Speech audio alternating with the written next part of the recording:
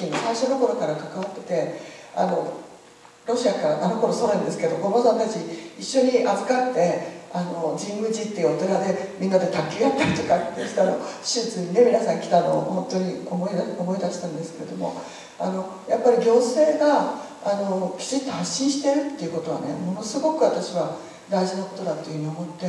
あのわずかでも飯舘の子どもさんたちをずっとあの保養に呼び続けているとかね。やっぱりあの福島の問題は絶対忘れちゃいけなくてまだこれからが勝負なんだっていうことをあのやっぱりあのそっちが当たり前だってことをねあのしてしていかないと公の場でしていかないとやっぱりあの当たり前になっていかないっていうふうに思ってあのそれはだそれはやっぱりちっとねあの公に今福島は忘れちゃいけないし私たちもあの那須原発のチームで毎年あの定点的にいわき市へ伺って奈良派の皆さんとずっと交流続けてるんですけどやっぱりね行ってみるともう毎年毎年あの黒い袋は増えていくし奈良派に帰れって言われて奈良派町回ってみたけどそこら中のもう田んぼは全部袋で埋まってるしあの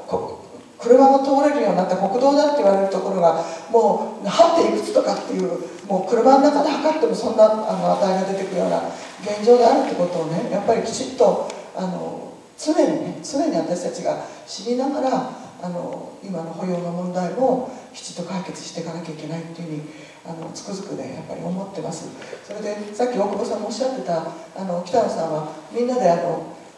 滋賀のねあの留学金は見学に私たち女性チームで伺ったらそそこに行ってきた途端にこんな大変なことを黙ってちゃいられないって言って私はあのお受けするよって言ってそしたら紹介の皆さんたちがそれを今ねすごい支えてくださってて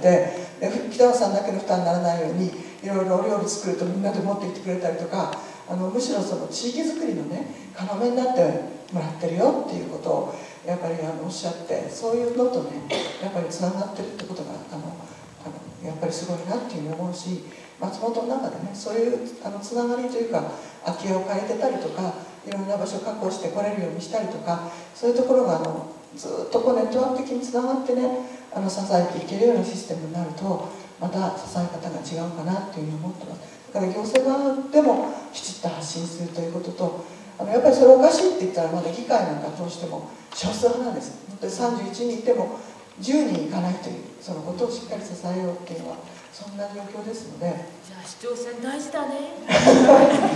あのやっぱり今の時期でこの時期ね特にやっぱり原発の問題がこんなことになってたりとかあの安保法制の問題がこんなことになってたりっていう時にはねやっぱり何が大事かってことはね私たち本当にしっかり考えてあのあの発信していかなきゃいけないというふうに思ってますのであのそんな思いで一言すみません。